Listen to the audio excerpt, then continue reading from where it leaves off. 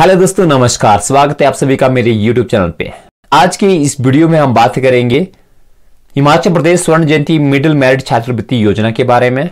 इस योजना का पूरा प्रोसेस क्या है, वो हम इस वीडियो में बात करेंगे।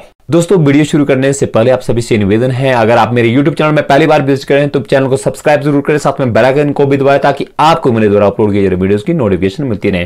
दोस्तों, वीडियो को लाइक व शेयर भी ज़रूर करें। तो चलिए वीडियो करते हैं शुरू। दोस्तों, हिमाचल प्रदेश के शिक्षा विभाग ने हिमाचल प्रदेश स्वर्ण जयंती मिडिल मेरिट योजना की अधिसूचना जारी कर दी है और इस योजना के तहत पांचवी कक्षा में पढ़ने वाले छात्रों को वार्षिक या सालाना अड़तालीस हज़ार से बहत्तर हज़ार रुपए तक मिल सकेंगे। इसके लिए एक परीक्षा का आयोजन किया जाएगा और यह परीक्षा S C E R T Solan के द्वारा आयोजित की जाएगी और यह परीक्षा की अगर हम बात करें तो यह सौ नंबर की परीक्षा होगी इसमें और चालीस नंबर का मेंटल एबिलिटी टेस्ट रहेगा और साथ में 20 नंबर का मैथमेटिक्स और 20 नंबर के इन्वॉल्वमेंट स्टडी रहेगी और दस दस नंबर की इंग्लिश व हिंदी रहेगी। कुल मिला के ये सौ सौ मार्क्स का है और यह टेस्ट जो है राज्य स्तरीय होगा। इस परीक्षा को क्वालिफाई करने के बाद या पास करने के बाद मेरिट में जो भी बच्चे आएँगे, उनको जो है उनकी मेरिट के आधार पर छात्रवृत्ति दी जाएगी। जब पांचवी का कक्षा पास करने के बाद बच्चा सिक्स में जाएगा तो उसे चार हज़ार रुपए प्रति महीना के हिसाब से छात्रवृत्ति मिलेगी। कहने का मतलब ये है कि सालाना उसे अड़तालीस हज़ार रुपए मिलेगा। अगर वही विद्यार्थी सातवीं कक्षा में पहुँचता है तो वह छात्रवृत्ति पाँच हज़ार रुपए पर महीना के हिसाब से मिलेगी और साठ हज़ार रुपए उन्हें जो है वार्षिक मिलेगा। आठवीं कक्षा में जाने पर जो छात्रवृत्ति है, छह हज़ार रुपये मिलेगी और सालाना इसमें अगर हम बात करें तो बहत्तर हज़ार रुपये मिलेगा।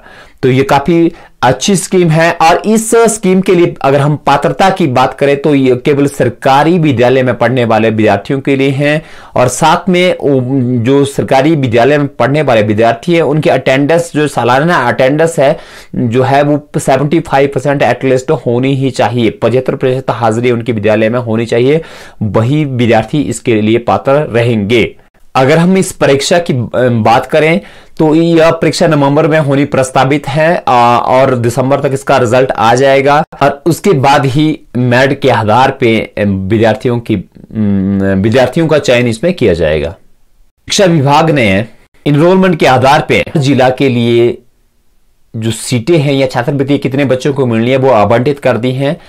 मंडी और कांगड़ा की बात करें तो यहाँ पे चौदह चौदह बच्चों को यह छात्रवृत्ति मिलेगी। चंबा से बारह, शिमला सोलन और सिरमौर से ग्यारह ग्यारह और कुल्लू से आठ उन्ना से सात, बिलासपुर अमीरपुर से पाँच पाँच और किन्नौर बलौल स्पीति से एक एक विद्यार्थी का चयन इस छात्रवृत्ति के लिए किया जाएगा। और इसका प्रोसेस क्या रहेगा?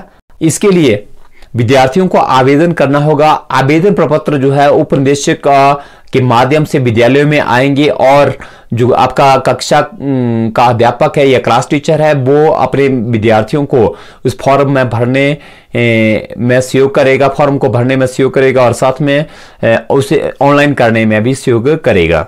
चयनित विद्यार्थियों की छात्रवृत्ति की बात करें तो वो उनके बैंक खातों में ही सीधी सीधी चली जाएगी। तो यहाँ पे एक अभिभावकों से एक अन्य रिक्वेस्ट मैं साथ में करना चाहता हूँ।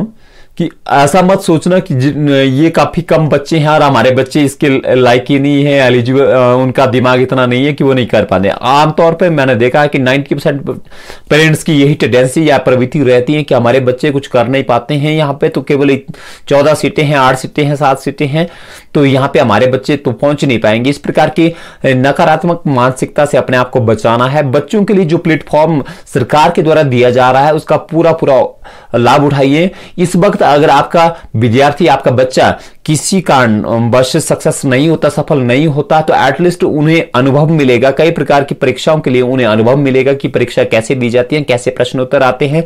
आने वाली परीक्षाओं के लिए भी अनुभव मिलेगा तो नवोदय की परीक्षा भी होनी है तो उसके लिए भी अनुभव मिलेगा।